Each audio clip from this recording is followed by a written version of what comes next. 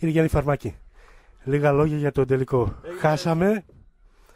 Τι ένα καλό παιχνίδι. Χάσαμε στις λεπτομέρειες. Ήμασταν πάρα πολύ καλοί.